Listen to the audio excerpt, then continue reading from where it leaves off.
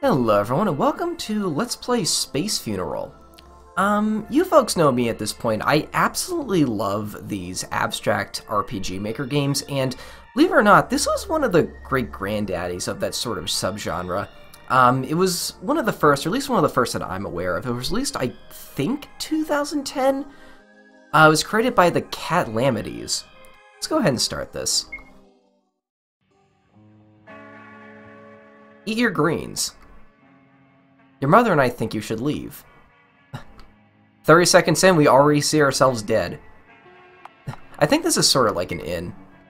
Yeah, there we go. Let's take a look at our status real quick. Um, wait, what? Oh, right. We play as Philip, a, uh, a sad. That's his class. That's not how he's feeling. That is his bona fide class. There we go. I think, uh, rubles? Rubbles? Not quite sure how you say that, but I believe that is the currency of the game. Oh, dang. a little bit of a gore warning, by the way. This game is, is very bloody at times. Although, like a lot of these games I, I tend to play, the game doesn't really care.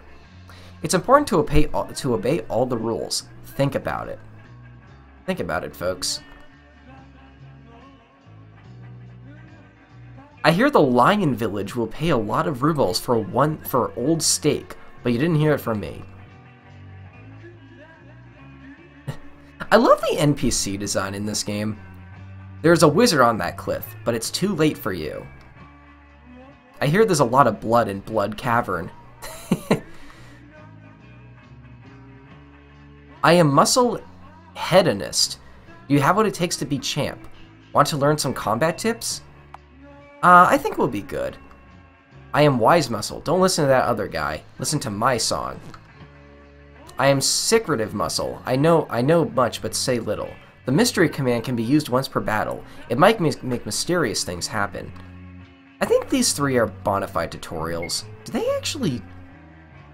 Oh, yeah, yeah, they just tell you stuff.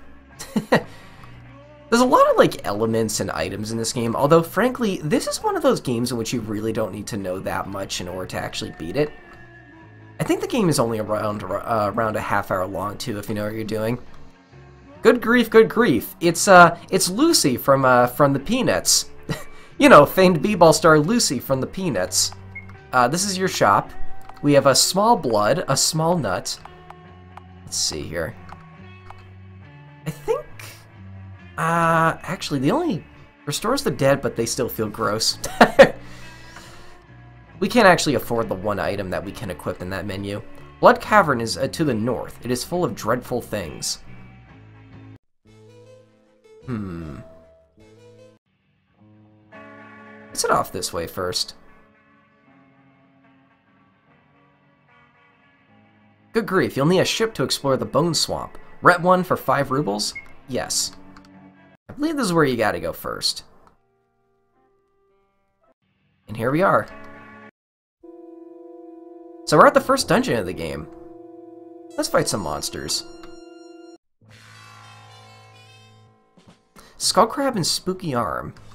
Oh, I love the battle theme in this game. By the way, it doesn't really look like it, but this game actually runs off an ATB meter. Um, and like I just said, it's not that difficult of a game either. A little fun fact about the um, the music in this game. I believe every single song in Space Funeral um, is taken from like some public domain BBC source. So a lot of them are super abstract. Um, there's a good chance you've never heard any of them. And for some odd reason, they're all really fitting for like every experience or every scenario the dev um, the dev put them in. Typically, you wouldn't expect that, but that is the case here. You, fe um, you fellow Swamp Knight have Yon fellow Swamp Knight have been savaged by the Swamp Trog. I fear he is not he is not long. Big blood. I don't think we have one. No. I think if you give that guy a big blood, he'll give you something. Traveler beware, there's a deadly swamp trog in the bone tunnels.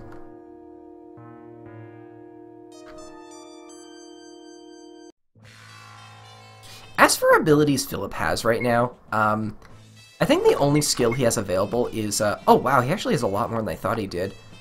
increases attack, burst into tears to reduce enemy defense, a damaging heavy blow. However, um, he also has mystery. Oh. okay, fine. What mystery can do is, um, just about anything. It's basically the metronome in the game, and the fact that they give it to the main character, I think tells you a lot about the kind of tone this game is going for. oh, there's a big blood. Let's go take that back to the knight.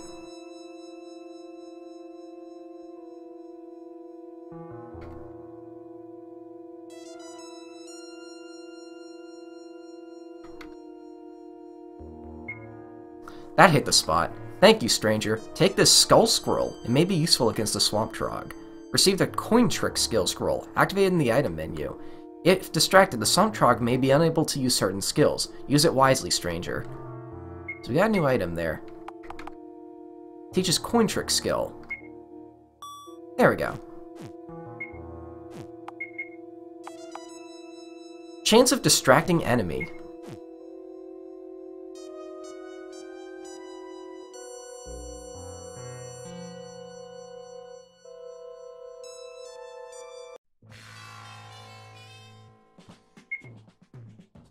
Gonna go ahead and use it on the boss. We have a lot of MP, so we can afford to to defeat. Oh, we can afford to just go all willy nilly on monsters if we want. There we go.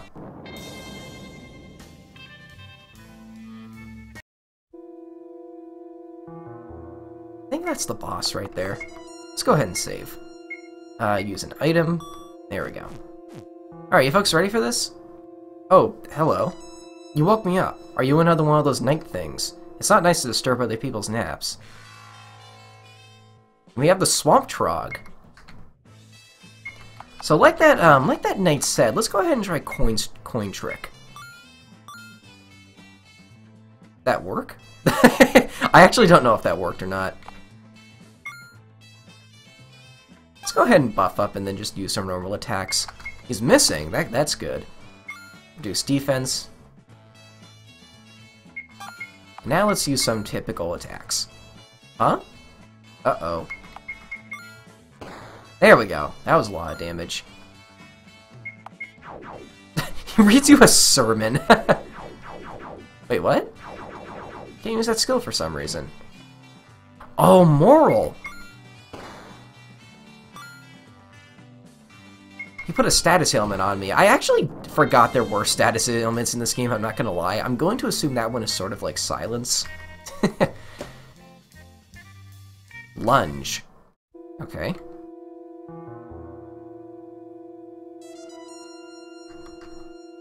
A focused hat. Oh, it's an accessory for some reason. This hat will prevent distraction. Oh, if only the boss was wearing that. and a rusty knife.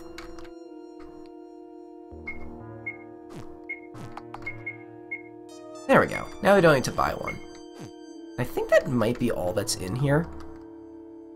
For some reason that chest appears open even though I did collect what was inside of it. Kind of strange how the game does that. Oh wait. Oh no, that's just a skull on the ground. You know, one small criticism I do have this game, it's a little bit difficult to tell what you can and cannot interact with. Since the game has such a... The game has a deliberately morbid style, which does look really nice. Well, a nice... that's a conservative way to put it. You know what I mean, though. Like, it's, it's an interesting style, and one that certainly uh, catches your attention. And I like it.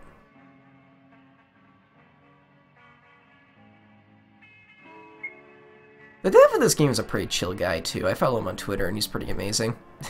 he's made a few more games, and uh, all of them are about as abstract as this one. It's something he's pretty he's pretty known for.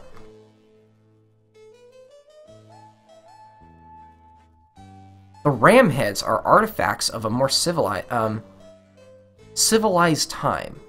There are some typos in this game, although I'm not gonna lie, given the kind of tone this game has, I wouldn't be surprised if they were intentional.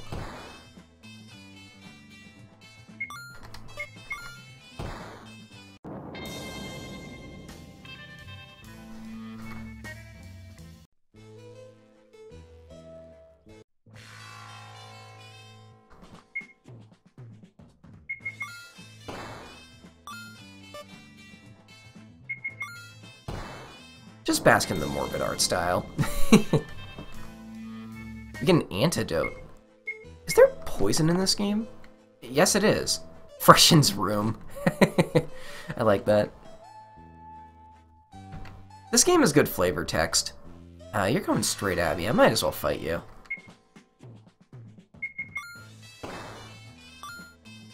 Blood puke. That missed.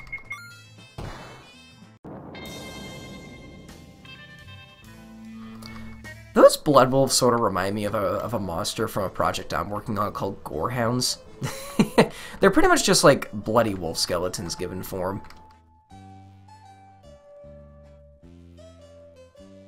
Hmm. Whoa. Uh. Okay, I guess I can't interact with you. like I said, it's kind of difficult to tell what you can and cannot interact with.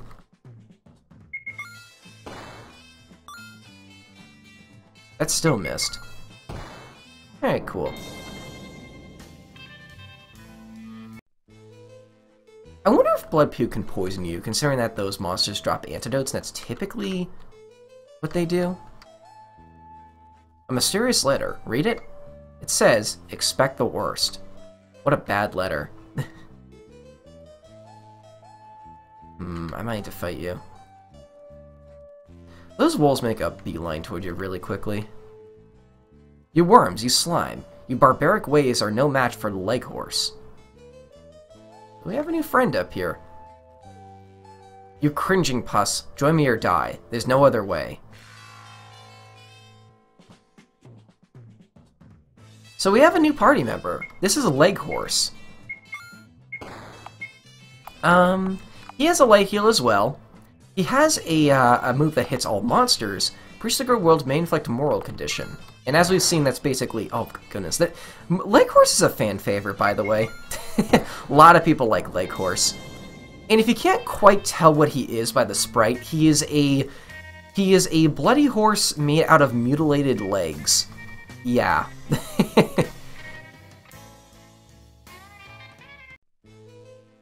Perhaps I underestimated you. Your name is Philip, eh? I am Leghorse. From now on, you shall obey my every command.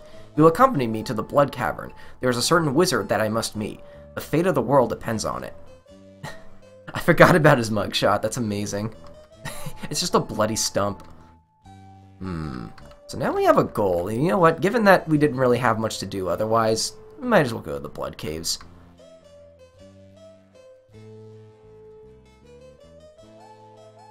that a shark? Wait. I'll, I'll get there in a second. Let's fight the shark, I guess. A ground shark. Devour.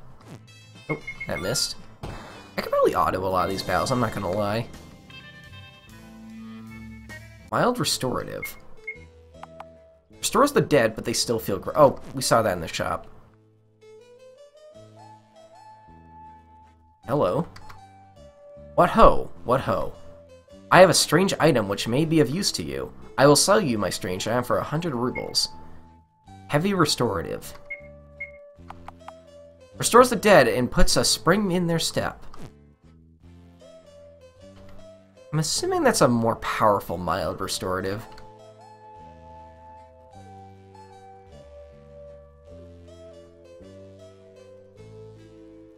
The Blood Dock is just through here. We can get a ship onto the heart of the Blood Cavern. Hurry up, you oaf. This game is a blood motif, if you can't tell.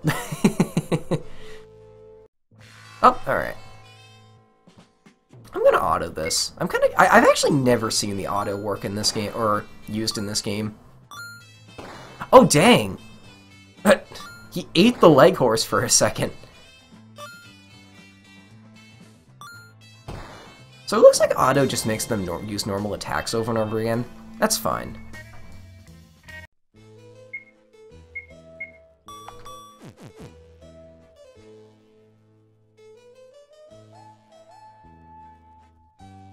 Oh, you're an NPC. Listen to this old sea rogue. There is no return from Blood Cavern. You better go prepared. I'm just saying. Yeah, so I believe this is a point of return, but it's it's Space Funeral. The secret location of Lion Village. I'll never tell. I am Tear the Bone. I am heading north to join up with Rip the Blood.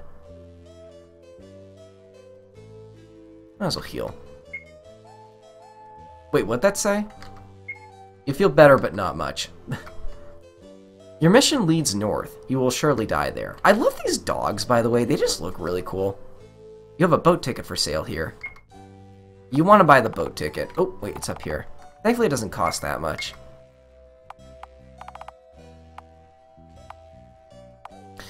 The leg horse equips boots. Um, I'm not exactly sure what he has equipped right now, but I might as well. Yep, that's more powerful. And yeah, that's more powerful too. He's wearing pants.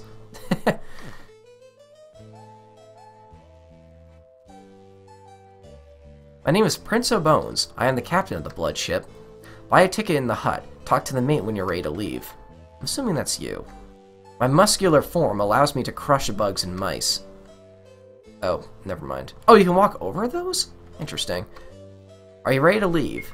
All aboard.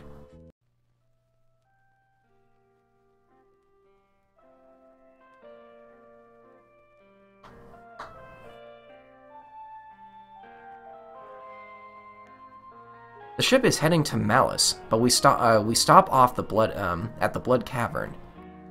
Lions have a have a special lion code. We use it to hunt prey and buy stocks. Don't bother the captain during the voyage. If you have the flex muscle skill, you can use it in battle to become muscled for several turns. It's true. I'm hungry. As a criminal, I am weak against Bibles, but strong against hypno rings. Look, coming down the Blood River. What is it you say? I heard an old man once refer to it as an error. No one knows what they were originally. Something, uh, something which broke, uh, uh, broke or couldn't be translated due to the great, uh, great, change. In the world's, in the world we're in now, we cannot even imagine what it might once have been. That shape is no, lo no longer exists. What? What? Why am I telling you this? Get out of my sight. Next stop, Blood Cavern.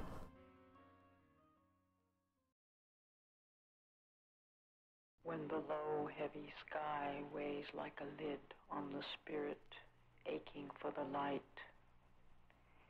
and when, embracing the horizon, it pours on us a black day. This monologue, this is the OST for the area, by the way. I don't think there are monsters here either. Is turned into a gripping dungeon. in which Oh, this is morbid. I love this visual.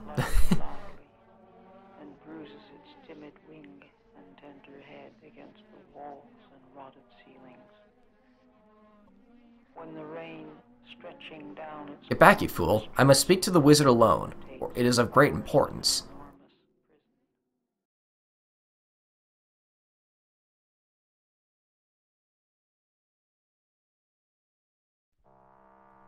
Wizard Grum is ready to see you. First things first, let's uh, let's take this chest. Poisons the owner, but increases the. Oh, jeez. Huh. That's interesting. How do you do that actually legitimately? I maybe like a like a passive stat or something or status. I don't know. I am the Wizard Grum. I understand you have a question for me. It's too late for you. However, I sense a mysterious fate in store for you. I can tell you more if you let me drink your blood. Sure, I guess. Although I did detect some minor ambiguities, perhaps if I could take one more sip. Oh well, can't blame an old man for trying.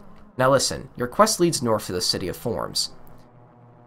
Fun fact, I think if you let him drink enough of your blood, you actually get a game over. So make sure you save before this. Continuing through this cavern leads to the town of Malice. From there, head east to the, to the Mystery Forest. Heading north through the Ghost Forest leads to the Wastelands. You may meet an old friend of mine. And to the north of that, who knows? You'll probably be dead by then anyway. Now off you go. You'll get no more help from me. I like things like this. Okay, I guess. Don't talk to me right now. Don't talk to me.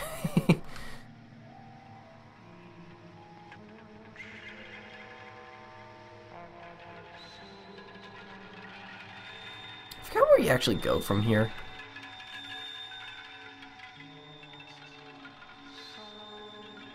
Wait, Oh yeah, that's an exit. Uh, I decide to travel with you to the City of Forms. Don't think about disobeying. I am Leghorse.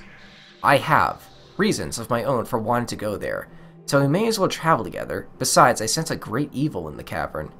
Leghorse rejoins the team. Sometimes it seems my blood spurts out in gobs, and if I and if it were a fountain's pulsing sobs, I clearly hear it muttered as it as it goes yet cannot find the wo the wound from which it flows. Before I meet you, met you, baby, I didn't know what I was missing.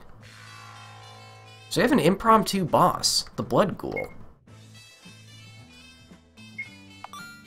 Huh? Oh, I don't know what happened there.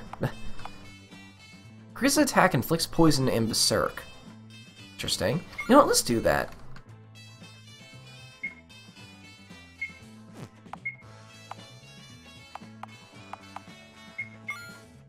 That's basically piercing.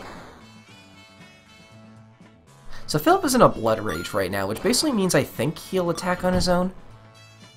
Which can be a good and a bad thing. I think it also raises his attack like most... Uh, yeah, there we go. Like most Berserks in these sorts of games do. Bosses never last too long in these games, though, so those sorts of poison effects really aren't that, that, that bad. Speed, okay. Entrancing Jig. I want to know what those are right now. Increases speed. That's super good. And there's a uh, there's no description on that. All right, and it doesn't look like you're poisoned anymore. So let's just let's just head out.